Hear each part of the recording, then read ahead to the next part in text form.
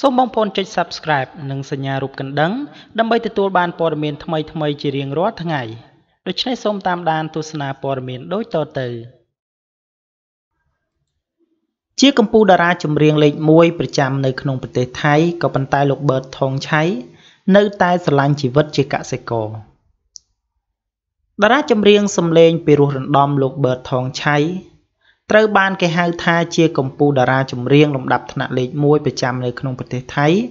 ព្រោះតែលោកបានចូលប្រឡូកនៅក្នុងវិស័យសិល្បៈចម្រៀងនេះ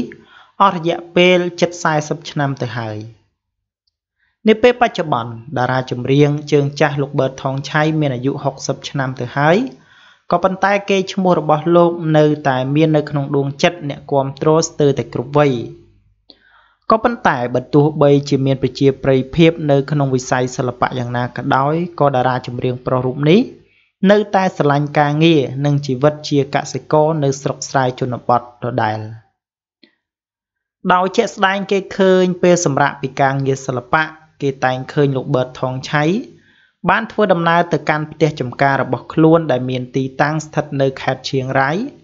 ដើម្បីប្រើជីវិតជាអ្នកស្រែធ្វើស្រែដាំស្រូវ នៅលើទឹកដីចំនួន100ហិកតានោះព្រមទាំងមានដាំបន្លែស្ទើរតែគ្រប់មុខនៅជុំវិញផ្ទះផងដែរឃើញលោកប៊ឺតថងឆៃជាមនុស្សដែលស្រឡាញ់ធម្មជាតិបែបនេះក៏ធ្វើអ្នកគ្រប់គ្រងសរសើរថាបើទោះបីជាមានគេឈ្មោះល្បីល្បាញកប់ពពកក៏ប៉ុន្តែតារាចម្រៀងរូបនេះនៅតែស្រឡាញ់ជីវិតជាកសិករជានិច្ចហើយខ្លួនរបស់លោកផ្ទាល់ក៏ធ្លាប់បានបង្ហើបប្រាប់ អ្នកគ្រប់គ្រងរបស់ខ្លួនថា ទៅថ្ងៃអនាគតលោកនឹងមិនបោះបង់ចោលជីវិតជាអ្នកស្រែចម្ការជាដាច់ខាត ព្រោះការងារនៅកន្លែងនេះមិនត្រឹមតែបានចិញ្ចឹមជីវិតលោក និងក្រុមគ្រួសារឲ្យបានសុខសប្បាយប៉ុណ្ណោះទេ តែវាថែមទាំងបានជួយចិញ្ចឹមជីវិតមនុស្សជាច្រើនអ្នកផ្សេងទៀតនៅលើភពផែនដីនេះហើយវាក៏ជាកន្លែងដែលបានផ្ដល់សេចក្តីសុខដល់ផ្លូវចិត្តផងដែរ បើទោះបីជាត្រូវការបញ្ចេញកម្លាំងខ្លាំងបន្តិចក៏ពិតមែនបាទសម្រាប់បងប្អូនដែលចូលចិត្តស្ដាប់បទចម្រៀងរបស់ថៃ គឺប្រកាសជាបានស្គាល់តារាចម្រៀងលោកប៊ឺតថងឆៃជាជាមិនខានក៏ព្រោះតែតារារូបនេះគឺបានប្រឡូកនៅក្នុងវិថីសិល្បៈអស់រយៈពេល40ឆ្នាំមកហើយឯបទចម្រៀងរបស់លោករហូតមកទល់នឹងពេលនេះ មានរហូតទៅដល់បះជាងពាន់បទ ដែលធ្វើឲ្យតារាចម្រៀងនៅក្នុងប្រទេសកម្ពុជាយកមកបចម្លងច្រៀងយ៉ាងភ្លុកទឹកភ្លុកដីហើយនៅពេលបច្ចុប្បន្ននេះផងដែរគឺលោកមិនទាន់បោះបង់ចោលវិថីចម្រៀងនោះទេ គឺនៅតែតែងនិពន្ធរួមជាមួយនឹងការបញ្ចេញបទចម្រៀងបែបទាន់សម័យមិនចាញ់តារាចម្រៀងសកលក្រោយនោះទេសូមបញ្ជាក់ថាលោកប៊ឺតថងឆៃគឺស្ថិតនៅក្នុងផលិតកម្មធំរបស់ថៃមួយដែលមានឈ្មោះថា GMM ហើយលោកក៏ជាតារាចម្រៀងកំពូលផងដែរសម្រាប់ប្រទេសថៃរាល់ការប្រគំតន្ត្រីរបស់លោកម្ដងម្ដងគឺអាចរកចំណូលបានច្រើនសែនច្រើនម៉ឺនបាត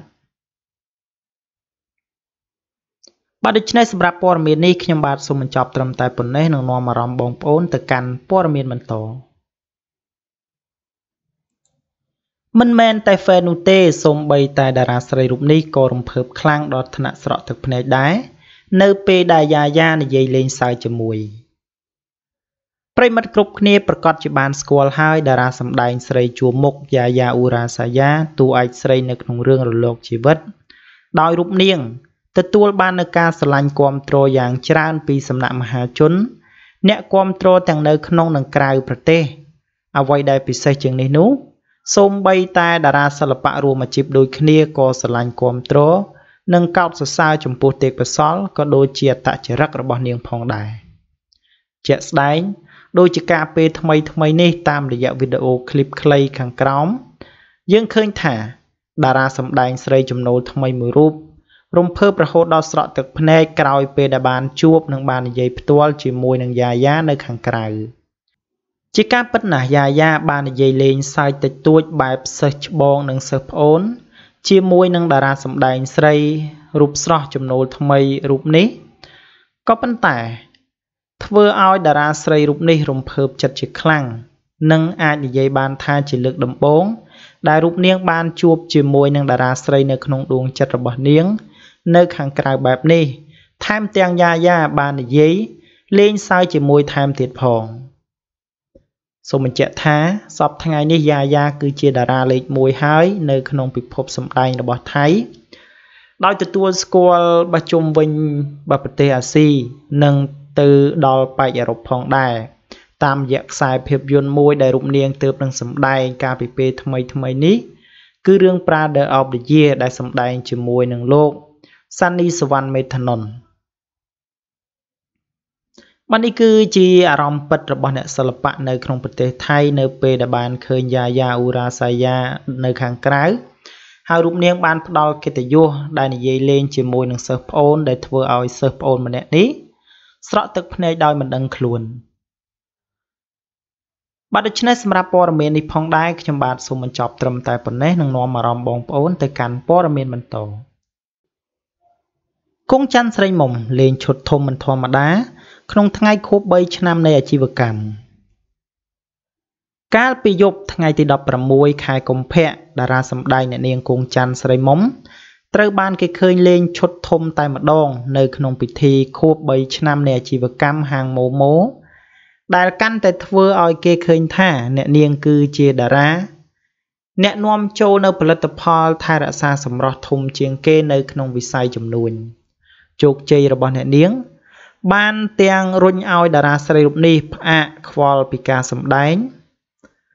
នៅក្នុងពេលដែលអ្នកនាងនៅមានទីផ្សារមិនធម្មតានៅក្នុងវិស័យសិល្បៈនោះ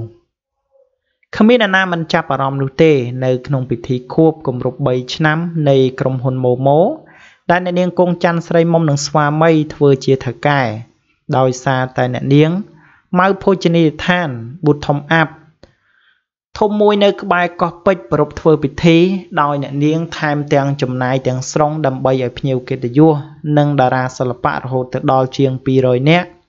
បានសប្បាយរីករាយនៅក្នុងពិធីនោះ អ្នកនាងអះអាងថា បានចំណាយរៀបចំអាហារ buffet ដោយមិនតម្រូវឲ្យភ្ញៀវកិត្តិយសចំណាយសូម្បីតែមួយសេន អ្វីដែលគេកត់សម្គាល់ទៅទៀតនោះគឺអ្នកនាងចំណាយយកសុទ្ធតែពិធីករល្បីៗនិងតារាចម្រៀងល្បីៗដែលធ្វើឲ្យពិធីករប្រចាំនៅក្នុងកម្មវិធីនិងឡើងច្រៀងនៅក្នុងវេទិកានោះពិតជាទទួលបាននឹងការកោតសរសើរម្ចាស់បទមន់ស្រែកញ្ញារ៉ាប៊ីអ្នកនាងសុគន្ធនីសាកញ្ញាវីឌីណែតនិងតារាបង្ហាញម៉ូដលំដាប់លំដាប់ សុទ្ធតែត្រូវបានអ្នកនាងតាក់ទងឲ្យមកបង្ហាញម៉ូដនិងឡើងឆាកនិងធ្វើពិធីជប់លៀង3ឆ្នាំរបស់ក្រុមហ៊ុនម៉ូម៉ូរបស់អ្នកនាងឲ្យคล้ายជាពិធីធំដុំអ្នកនាងគង់ច័ន្ទស្រីមុំបានបញ្ជាក់ដោយសារតែអ្នកនាងដំណើរការអាជីវកម្មនាំចូលផលិតផលថែរក្សាសម្រស់ម៉ាកម៉ូម៉ូទទួលបាននូវភាពជោគជ័យនៅក្នុងរយៈពេល3ឆ្នាំក្រោយដំណើរការទើបបានជាអ្នកនាង សម្រាប់ចំណាយលើពិធីជប់លៀងអមដោយការចាប់ឆ្នោតទ្រង់ទ្រាយធំតែម្ដង ជូនដល់ម្ចាស់សាខានិងអតិថិជន អ្នកនាងថា កម្មវិធីដែលបានធ្វើឡើងចំណាយមិនតិចជាង30000ដុល្លារនោះទេ ដោយសារតែនាងបានសម្រេចចែកជូននៅម៉ូតូទូរទស្សន៍និងឆ្នាំងដាំបាយជាដើម ដើម្បីទុកជា ការចំណាយថ្លែងអំណរគុណដល់អតិថិជនផង។ អ្នកនាងបាននិយាយថានេះគឺជាលើកទី1ហើយដែលអ្នកនាងចំណាយអស់ប្រាក់10000ដុល្លារដើម្បីអតិថិជនក៏ប៉ុន្តែក៏ដើម្បីជាការលើកទឹកចិត្តដល់អ្នកគ្រប់គ្រងផលិតផលម៉ូម៉ូនៃពេលកន្លងមកតែប៉ុណ្ណោះរហូតមកទល់នឹងពេលនេះអ្នកនាងថាមុខចំនួនម៉ូម៉ូរបស់ខ្លួន ដែលមានដូចជាទឹកអប់ម្សៅផាត់និងគ្រឿង make up ដទៃផ្សេងទៀតជាដើមបានដំណើរការ រហូតទៅដល់8សាខាទៅហើយ ដោយមាន5ទីតាំងធំធំ ស្ថិតនៅរាជធានីភ្នំពេញនិង3ទៀតនៅខេត្តសៀមរាបកំពង់ចាមនិងបាត់ដំបងដោយមិនរាប់បញ្ចូលអ្នកចែកចាយទូទាំងប្រទេសផងអញ្ចឹងហើយទើបបានជាអ្នកនាងសម្រេចចិត្តធ្វើខួប3ឆ្នាំកាលពីថ្ងៃទី16កុម្ភៈឲ្យធំតែម្ដង ដោយបានទាំងអញ្ជើញតារាល្បីៗឲ្យច្រៀងរាំនិងធ្វើឲ្យភ្ញៀវកិត្តិយស ចូលរួមគឺមានភាពសប្បាយរីករាយបាទនេះគឺជាពិធីជប់លៀងដ៏ធំមួយរបស់បាម៉ូម៉ូដោយក្នុងយើងឃើញមានតារាល្បីល្បីដែលជាអ្នកគ្រប់គ្រងផលិតផលម៉ូម៉ូបានចូលរួមរហូតទៅដល់បើប្រមាណ200នាក់បូករួមសរុបទាំងម្ចាស់សាខាទាំងអស់ហើយអ្នកចែកចាយតាមខេត្តនីមួយៗក៏ទទួលបានការអញ្ជើញពីអ្នកនាងគង់ច័ន្ទស្រីមុំផងដែរ បាទដូច្នេះសម្រាប់ព័ត៌មាននេះផងដែរខ្ញុំបាទសូមបញ្ចប់ត្រឹមតែប៉ុណ្ណេះសូមអរគុណរាល់ការតាមដាន និងការចុច Subscribe របស់បងប្អូនទាំងអស់គ្នាមកកាន់ Channel របស់ខ្ញុំបាទ